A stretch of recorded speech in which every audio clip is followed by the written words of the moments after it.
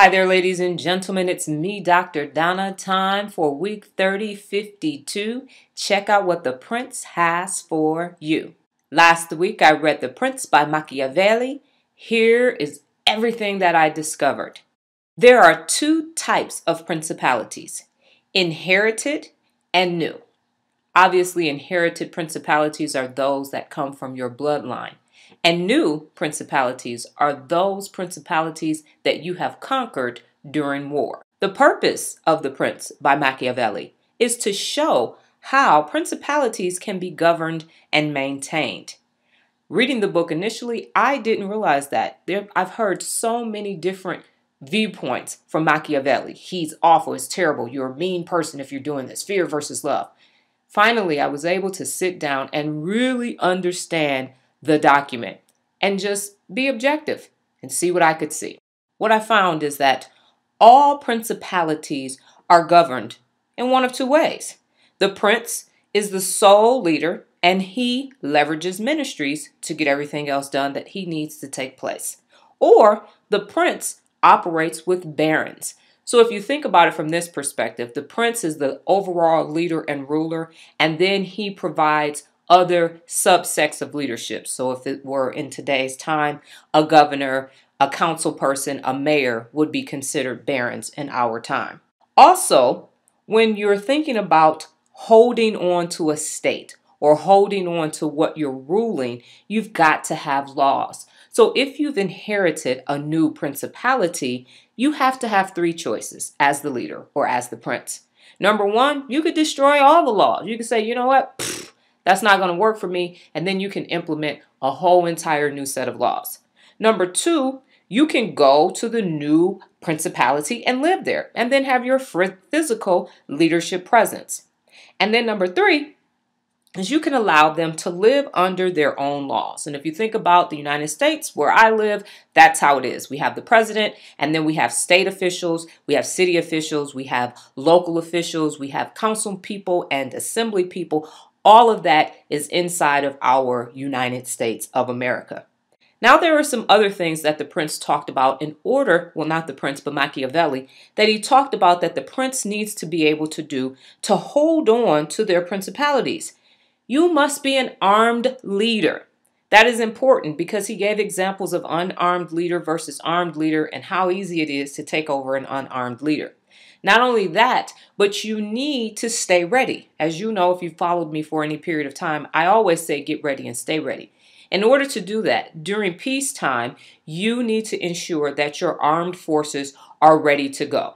The last thing you want is to live in a peaceful state, the army isn't ready, and then all of a sudden it's time for war and you're not ready. An armed leader needs to stay ready and practice and participate and be ready for war even during the times of peace. And not only that, but when you're in leadership, you need to maintain your own fortune. Because what happens is if you spend all the money and you're not miserly and then you need money, you know, when people need money, they resort to doing things that may not be legal and that causes you to be weak. He maintains that it's better to be a miser and then spend miserly or sparingly than to spend freely and then end up in a precarious situation. Finally, there are times when your army may not be as strong as you'd like it to be. And so you may want to employ mercenaries. But that's the last thing that you want to do because if financing becomes tight, guess what? The mercenaries leave. And now you're stuck trying to fight a battle with no resources. So he suggests that it's better to use your own soldiers and fight to the end than to hire mercenaries. There are a couple of qualities that I took away that every prince needs to have in order to maintain their principalities. And it's number one, be a miser. Use the money sparingly so that it can last for the long term. Number two, you have to have the characteristics of a fox and a lion. You need to be able to evade traps, but then you also need to be able to defend yourself. There is a great debate about being feared versus loved. And what Machiavelli says in the book is he says, it is great, it is best to be feared and loved. But if you have to pick one, you need to choose fear because man is fickle and man has free will. And man can decide to fall in love with you or fall out of love with you. But fear is a one way street. And when you are in control and you are ruling an entire principality, you need to be able to maintain control over the entire principality. And that's what he's talking about when he's saying it's better to be feared than to be loved. He also says that overall, resist hatred at all costs because when people hate you, they have a tendency to unite and rebel against you. The last thing you want to, want to do is be hated, and fear and hate are not the same thing. And then be decisive. You want to select a small council of wise advisors that advise you behind closed doors, and then you ultimately take the information that they've provided and you make your own decisions because indecision is like the Achilles heel to a prince and it will ruin who you are. And again, you will be dethroned if you can't make decisions. Finally, you need to be skilled and accountable. If you do not possess the skill set of a leader, and if you don't hold yourself and those that are in your care, your barons and your ministers, accountable, you will most assuredly lose your principality.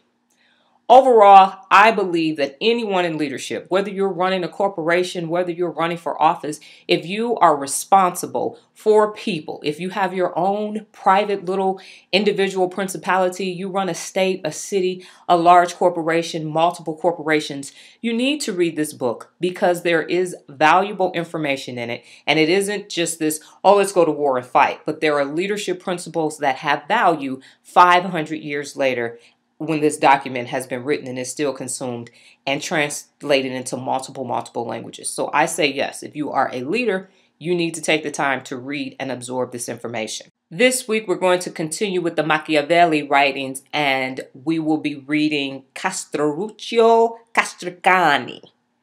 Hopefully, I've said that correctly. Looking forward to getting some more information from this time period. Well, that's my time, ladies and gentlemen. But before I get out of here, just remember if it's possible for me, then it's possible for you. Watch what we do in Fifty-Too.